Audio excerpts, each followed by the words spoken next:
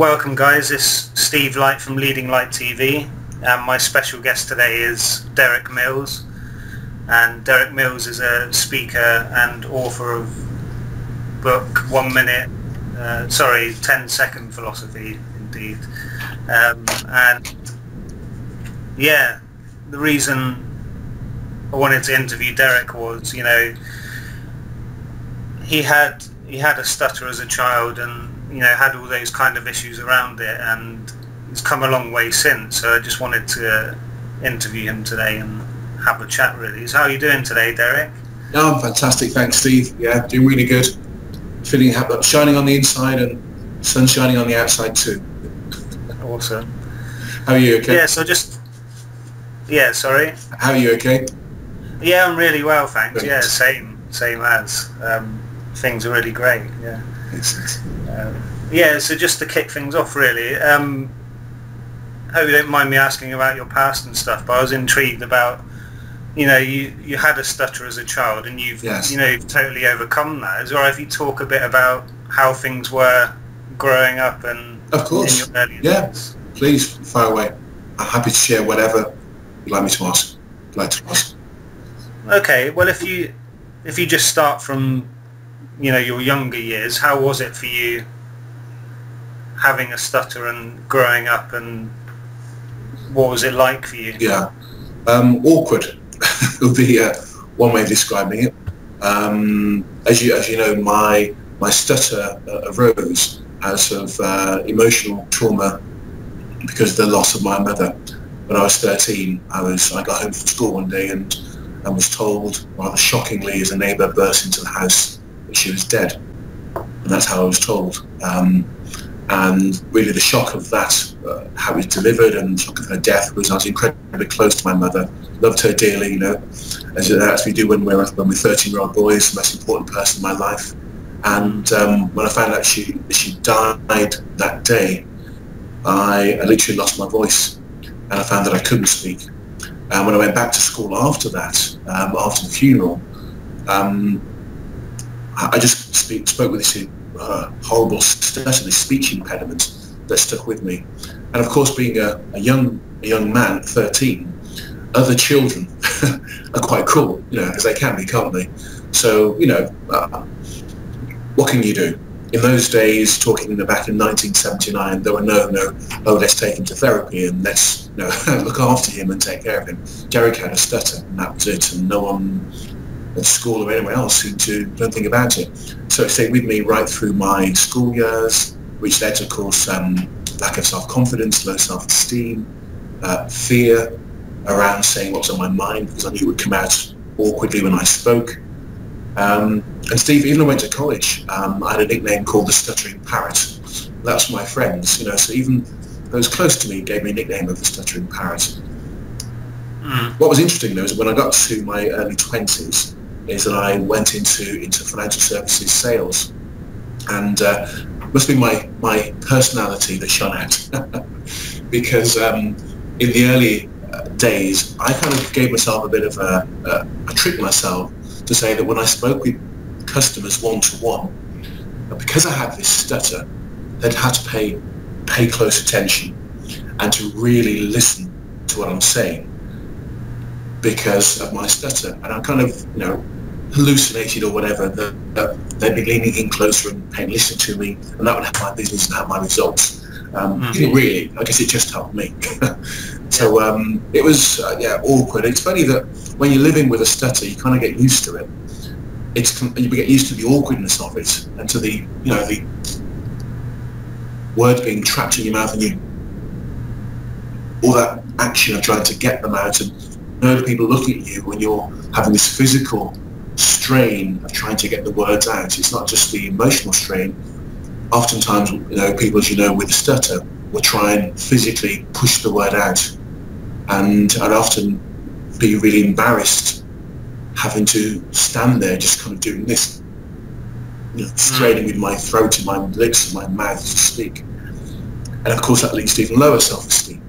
so it's, uh, yeah, there you are. So it's, there, are, there are millions of uh, stutterers around the world, and I think we all suffer in a different way, but some similarities around social exclusion that we feel, the Yeah. low self-esteem that we feel as a result of that uh, quote-unquote affliction.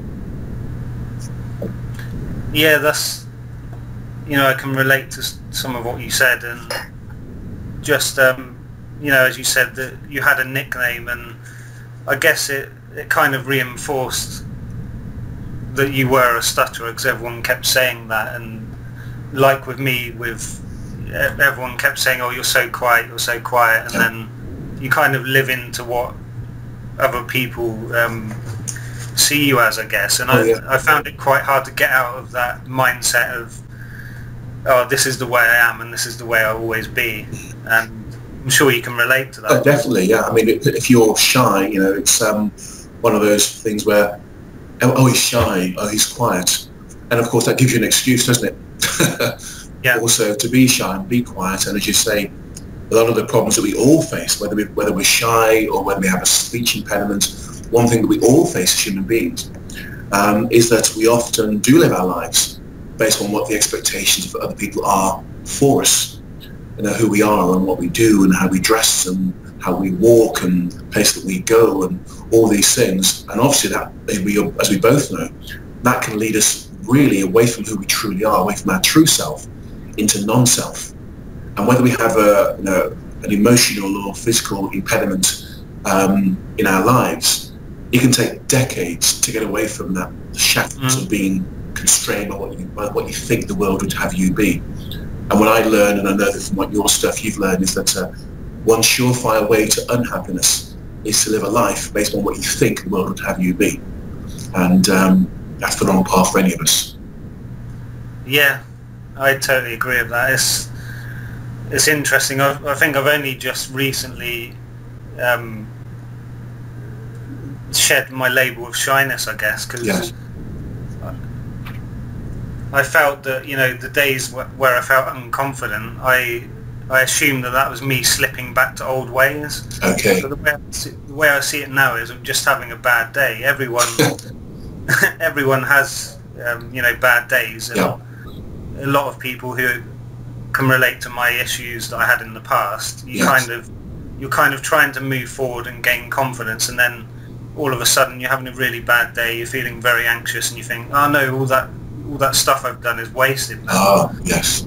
I realise now that you know that's not the case. I just had one particular bad day. It doesn't mean anything about me as a person. It's just I'm having a bad day. That's it. Exactly. I mean, even the greatest among us will have bad a bad day and many bad days, and Yeah. sometimes you know it's um, that those bad days you know roll into weeks and months and sometimes years, and it's recognizing that um, you know, the, the behavior in the day does does not make you who you are.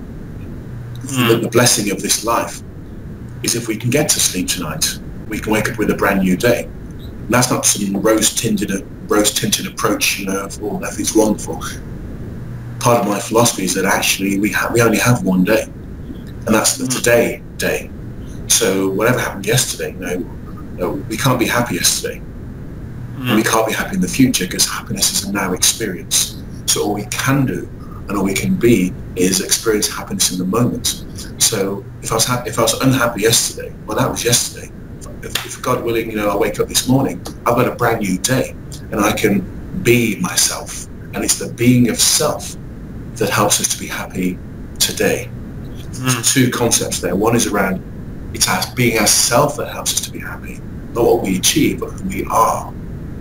And the second thing is, is we, we, we experience happiness in the moment. You know, it's about today. It's about right now. And, and when we learn to live in today's and keep ourselves present, that enables us to be happy right now. Yeah, yeah. I've uh, I think I've just really recently realised that myself. Like I think it was Thursday last week. I had a really stressful day and was quite angry and you know just a, a dreadful day. But then the day after, I woke up and it was amazing and Yeah, I felt totally different because before I'd look back at yesterday and dwell on the bad day, which would carry on the bad day from, you know, the next day rather than drawing a line in the sand. This is a new day and and it was a great day. And that's, that's one of the first times I've really realised that there only is today. Yes, it, absolutely. And of course, it, it is um, ancient wisdom. Yeah. Because uh, 2,000 years ago, Christ taught, you know, in the words he gave us to remember, he said, uh, give us this day. No, he didn't say, no, think about tomorrow. He didn't, in fact, he actually said, have no worry about tomorrow. And I began over time, as, after I woke up a few years ago, to realise that the only way to not have to worry about tomorrow, because at first that was a challenge to me. I thought, well, how do you not worry about tomorrow? How do you have no worry for tomorrow? How will tomorrow take care of itself? There's only one answer to that. That is to live in today. To be all you can be today, to be your light and shine your light and say your words and be your truth. Today and take action today and be happy today. And when we do this, whatever futures that we're blessed with, they become our new today and they become better because of what we do today. So the, the idea of uh, give us this day, it's more than a concept. It's more than just a, a theory. We only, we, I literally know that we only have today. And I think as Einstein once talked when he talked about the future, he said that all time exists at the same time. But the next phrase really interested me because he then said, even when we get to that future, all we have is one more now. So there are only nows. So to me, there are only todays. And if we live as if that were true, because it is, we can realize that's where happiness is. That, as you know, that's why I don't set goals for the future, because when we set goals for the future, we defer our happiness to the achievement of said thing. Mm. Um, no, because none of us set goals to be unhappy. So by definition, we must set our goals to be happier or more comfortable or more content. The problem is with goals, that's where the happiness stays out in the future.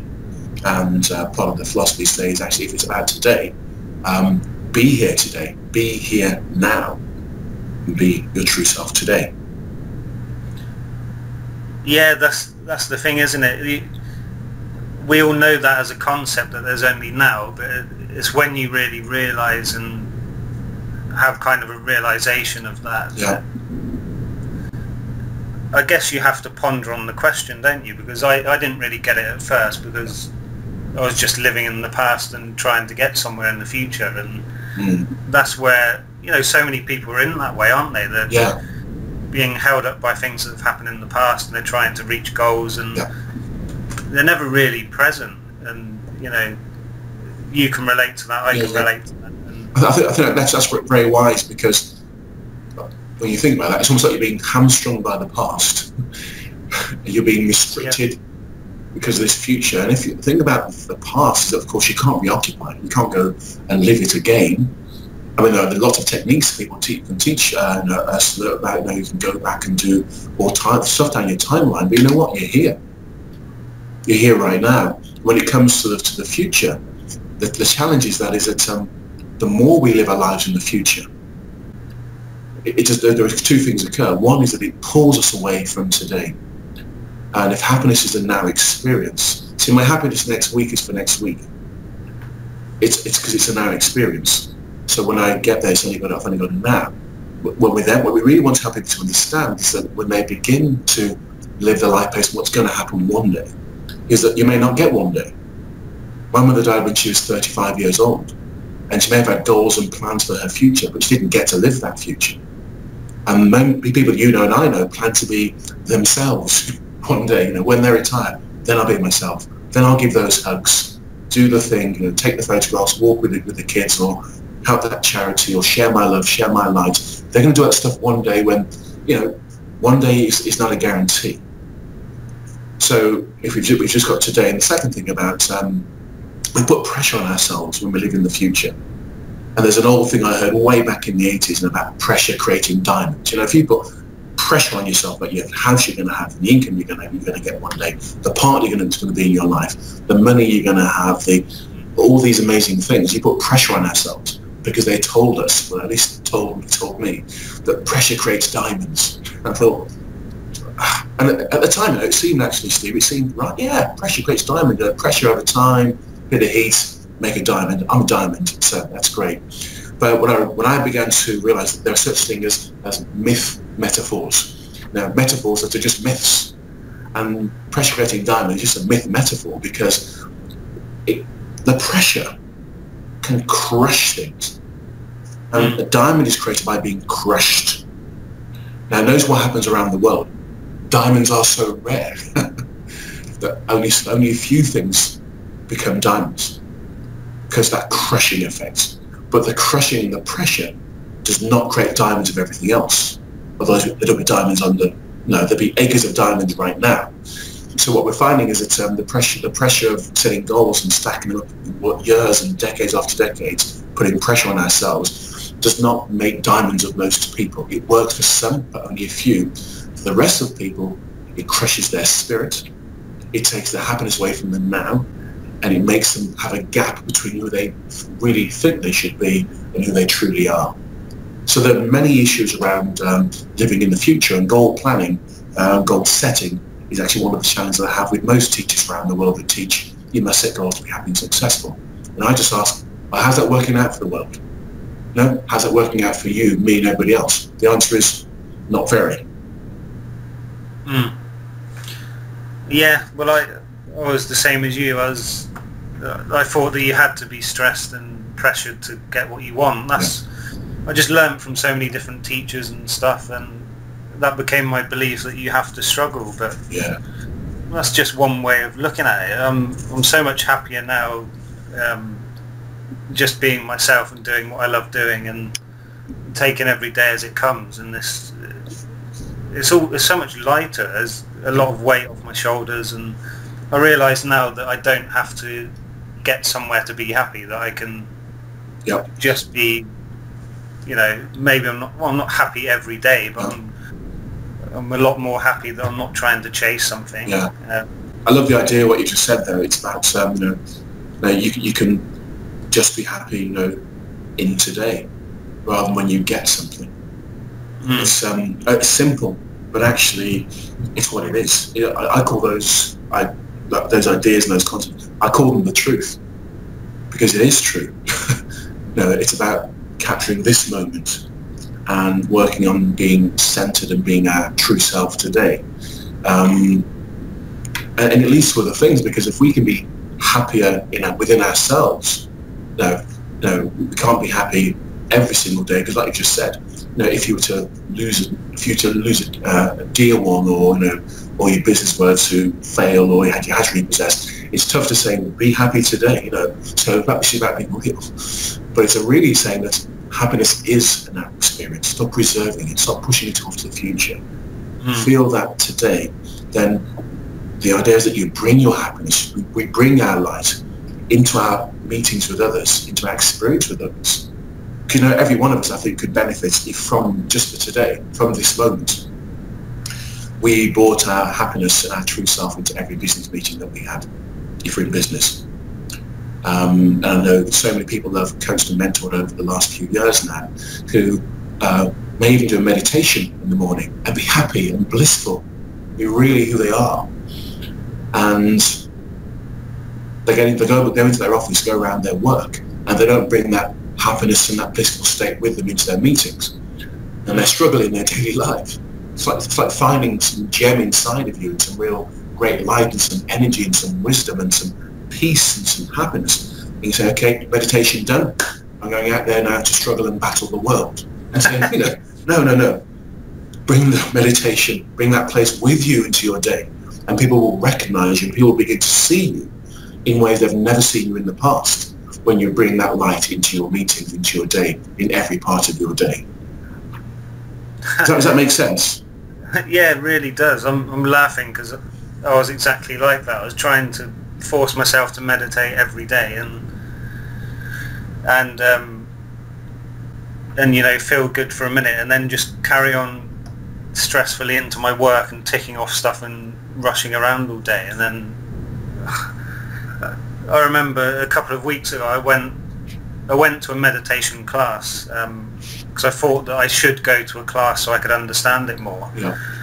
But the thing is, I turned down a nice evening with my girlfriend and I left meditation and I was feeling more stressed than when I turned up. I wished I just stayed at my at home and relaxed with my girlfriend because I'd have had a much more relaxing time. Yes, indeed. It was just funny how we try and put these things in place as a strategy rather than I don't know. It's, it's, well, it's, it's just putting pressure again. You know, uh, if I meditate every day, then I'll be happier. Yeah. Um, it's just another way of putting pressure on, I suppose, isn't it? Yeah, I, I think you're right because it's a, a, a meditation uh, is for it's, it's meditation for me is about bringing myself back to who I really am and holding that space. But also in that space, what I've, what I've found is my my wisdom is available to me. My sagacity is free, is free flowing. Ideas and thoughts and concepts and connection with other people and things is there in that space. Can you think of a better space to bring to your business? You know, can you think of a better space to bring into your relationships? So your so meditation is not just for the class; it's for the day. It's about bringing that and holding that space for the whole of your day, especially in what I would call the left brain conscious, worldly parts of our day. As if the more you're dealing with a left brain conscious, logical part of your day or your business, is to bring that stuff that you really have into that space. Um, and that's where your genius awakens and can give you guidance and wisdom that your thinking mind or your ego was never going to access. Um, so there's far more to this than you know, just have the meditation and then go on my life. I'm saying, no, what, what do you find in your meditation? Where are you in that place? Bring that into your life because that's probably closer to your truth than, than you're trying to think about stuff. Mm. Yeah, so you mentioned in your book that you did a you did a talk. Um, I can't remember what conference it was at. It was at an international speakers conference or something. Oh yes, yeah. And you um, you just spoke from the heart, really, didn't you? You weren't trying to impress anyone. You were just, um, I guess, you were in that state of mind then, weren't you? Yeah. Just letting the words come and trusting yourself that you, you know, that you had it in you to not say the right thing, but yeah. just Well, actually, you, I love the, the way you've because you, you're kind of really uh, getting me um, flowing here because what's really important about what you've just said is that when I was in, I did a talk to the, Global Speaker Summit to. Uh, I, was a, I was a brand new speaker. I think it was my fifth ever talk, and um, universe conspired to get me there. We won't go into that now. But my fifth ever talk happened to be uh, doing a talk to the Global Speaker Summit, speakers all around the world. And there's amazing people in the, in the room, and I just um, trusted myself, which is what I picked up what you just said. I began to trust myself, and I trusted what was coming through me to just to be. I knew I knew my stuff, but then I just had to trust. And the reason I say that's such an important thing, Steve, is that most people in their lives, you know, like I used to be for my previous 18 years before I woke up, they um, they would trust their next door neighbour, trust the media, trust the paper, trust a friend across the fence, trust their colleagues, and they won't trust themselves. And most people have problems in their life. When I come to counselling with people, I often say that you know, just have this as, as an idea that a lot of the challenges and problems of your life you've come to me today about is because up until this point you have not trusted yourself. It's the lack of trust in self that has led you here.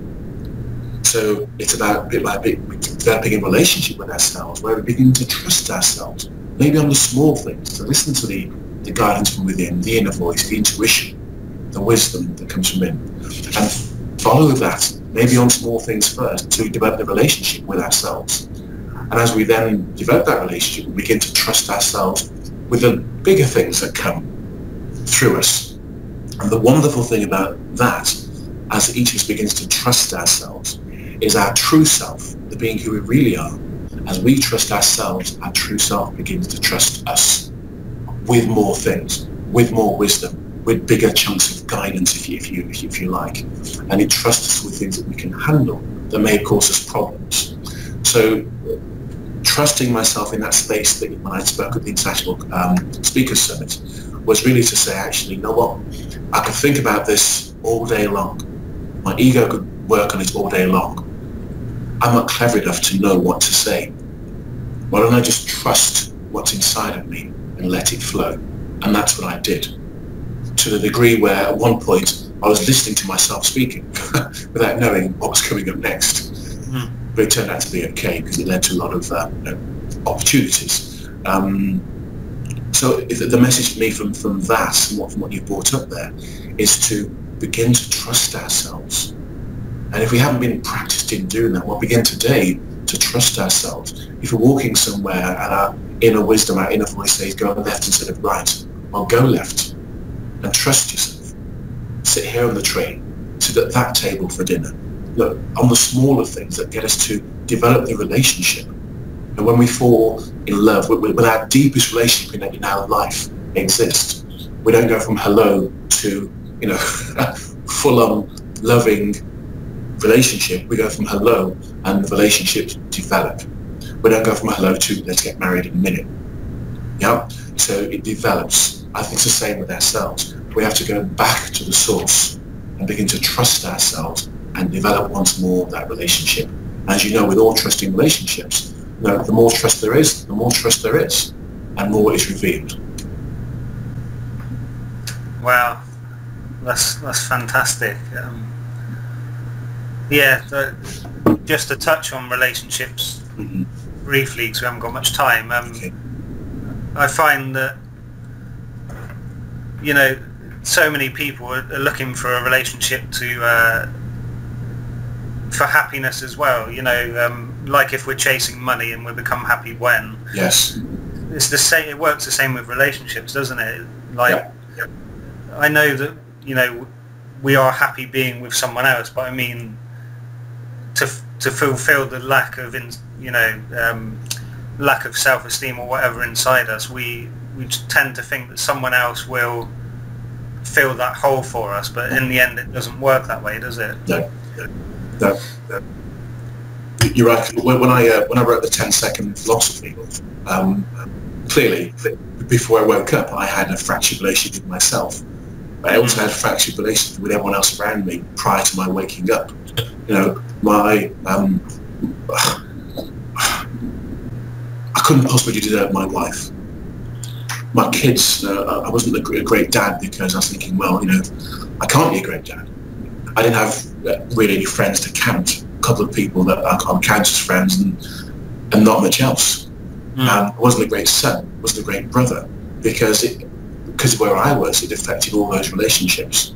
Mm. When I discovered myself, here's what happened. no, I became happier in the in the in the moment, and as if by magic, my wife became a better wife. my kids became better kids. My dad a better dad. My brothers and sisters. Everyone around me became better because I was seeing them with fresh eyes, mm. through my truth, through my. Uh, so those relationships became real and better. You know, when you look, there's a phrase called uh, you know, someone has angel eyes. I think when when I realise now when someone has angel eyes, it's not to me doesn't mean they've got beautiful eyes which are beautiful eyes which are angelic. To me it means they're able to look at others as if they are angels. To see the angel in another means that that's what angel eyes really mean. And I developed some angel eyes so I can see everyone around me is actually beautiful, wonderful beings. And of course, when you're surrounded by beautiful, wonderful beings, I mean, hey, yeah, that makes you happy. so those, those same people were in my life before and because where I was, I couldn't see them. So above all the things I wrote in the book, when it comes to my personal happiness, is my waking up to myself. And then, of course, it massively energized all my relationships.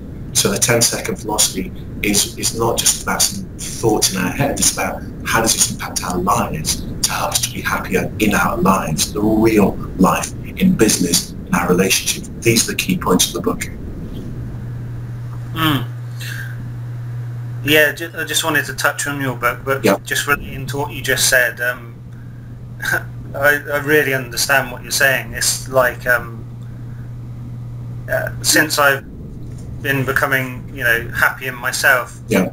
I've, I've caught myself thinking, wow, everyone's really nice. Um, they haven't changed at all. I just, view the world differently. Like 10 years ago, I was so angry with everyone, and you know everyone in the world was an asshole, and yeah. oh, why didn't they understand me, and all this kind of stuff. But once you, you know, once you do kind of wake up to how things are, and you're happy in yourself, yeah. like you said, everyone around you. Even though you know they might not be nice all the time or whatever, you just see them. We're, we're all human. Different yeah. eyes. Yeah, yeah. And, and, and Steve, most people are not happy because they're not who they truly are. And you can't be mm. truly happy as not you. Happiness comes from finding out who you are and being that person in your life. That's and as you, when we know the opposite of that is that if you want a sure path to unhappiness, is try and be what the what, what you think the world would have you be. You're going to be unhappy. Try and be what the media, what celebrity, and what society thinks you should be. Try and be that. Try and mind read the world and be what you think you worked out they want you to be. Sure, it's a sure path to unhappiness, and uh, it's about being who we are and having the courage or having uh, daring to be ourselves. And then when we, when we dare to be ourselves, this has a real practical application. Because I often talk to business people and I say, when you are authentic, balanced and centered, the connection you have with people increases exponentially. And therefore your business will go through the roof as well as your relationships. Mm. Because you become the person people turn to when it gets dark. Because no matter how dark it is out there, if you turn on the light, every light turns towards the light. So if you can be your true self, you become the light, not just for yourself, but for others. And as you turn on their light, it illuminates the path for you as well. So we all benefit when we are each our real and our true self. Yeah. Just going going back to the, the true self thing, um, what what would you say to anyone, you know, someone might be listening to this and thinking, well, I am myself, you know, five years ago I couldn't relate to this this kind of conversation and what would you say to someone listening to this who's thinking, well, I am myself, I, I can't be anyone else? What, how do you differentiate that from um, someone who, I don't know, I'm not sure how to yeah. explain. I think I, don't, I think when someone says I am myself, I say that you're blessed. To be oneself is to be blessed because that's that's that's the that's the centre of your happiness. I also would say that it's about discovery because there's far more to each of us than we've ever tapped into thus far. So it is about saying, being myself, it's not an on-off situation like a light switch where I am myself and I'm not myself. We can to less or greater degrees be more of our true self. And our true self is actually genius. It's part of the source, it's part of intelligence energy. We're part of the universe. Whether you're spiritual or quantum physicist or both, we know we're part of something else and that that is something else has wisdom and sagacity, and that comes through each of us. So to be our true self is a continuum. I'm my true self now, but I'll know more of my true self, and I'll be more of my true self. God willing, if I get to 97, I'll be more of my true self because I'll discover more of who I am, more what's inside of me, of my gifts, my abilities, my talents, and whoever I am, my light, to discover more of that. It's a continuum, and to be. So what I would say is stay on that path and discover more. And there's more. Whatever wisdom comes from that place, speak the word. The words, thoughts, questions, phrases, ideas and feelings that come from that place, be that in the world. So whatever you really feel you are is inside of you. It's not just a state of being.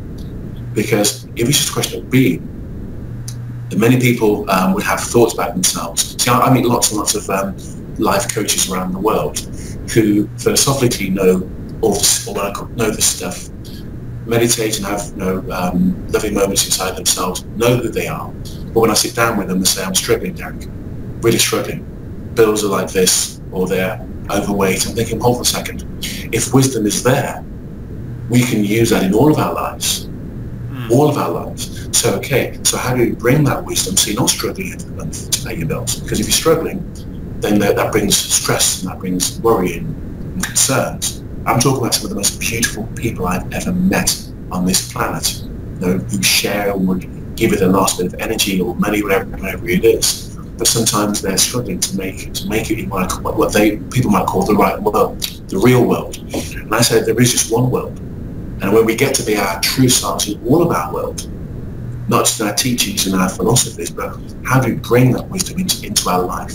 So pay attention, I would say, to this person. Pay attention to your wisdom and begin to bring that wisdom into all your daily activities. And you're going to see yourself achieve and do and be things in this day that will shock and surprise you because you have a genius inside of you. I'm a genius. That's what I discovered. After 18 years of being a failing adult, um, I realized I was a genius, which means that I must have had that genius inside of me all the way along all that time. if I'm a genius, let's put on the very first page of the book, if I'm a genius, every single one of us is a genius. Every single one of us has a guru that could revolutionize our lives and maybe even the whole world. So stay on the path. Wow, awesome. Yeah, I I can I can relate to that definitely. It's, it seems to me that the only thing that is in the way of our genius is our is our negative thinking, I guess, our beliefs about what we can achieve, and once we trust ourselves, we can. Absolutely. There's really no limit to what we can achieve. No. Well, there isn't because uh, even if you talk to the uh, the most unspiritual quantum physicists, they'll tell you and me that everything is energy, and everything is energy. And they don't, they're not saying there are 97 or 97 million or 7 billion types of energy. They're actually saying that everything is energy. So we know that we have huge potential inside of us. You know, you can look at the, you can cut open an apple and you can count the number of seeds, as someone once said, inside the apple. What you can't see is how many apples will come from those seeds. And I think to myself, yeah, you can, when you look inside yourself, you don't really know what's inside. That's why we must continue to go inside and look what's possible for us, and we could, you know, um, literally revolutionise our lives. And one of the practical things, I'm aware that when we have conversations like this now, this doesn't be aware that you know that when we have conversations like this, some people are going, "That's lovely, very philosophical, lovely words that Steve said there, and Derek said that, and that was nice, whatever." But you know what? How do I do this in my life today? How do I get this to work for me today? And one of the key things that came out of my genius was to stop setting goals and to start setting daily standards to live by. And standards are where we go inside and we consider in the seven key areas of our life, consider the basis, criteria, level, quality or rules. What are the basis criteria, qualities, levels or rules that are right for us? Not right from our thinking or from our ego, but going inside and considering. In these seven key areas of my, of my life, my personal health and fitness, my environment, my relationships, my family, my emotions, my career, my time? What are the right standards, which are the basis criteria, levels, qualities and rules that we live our lives by? What are the right standards for my life in those areas? And set and go within to find the answers. Go inside ourselves to sit and hold a space and find the answers within. And then set those standards out. And here's the, here's the last bit. Commit to being and living at that standard just for today. No pressure. Not for the next three weeks or three years or quarter or next 20-year business plan, whatever. Just discover who you are, what stands the right for you, and be that just for today. Take the pressure off. Just until we get our heads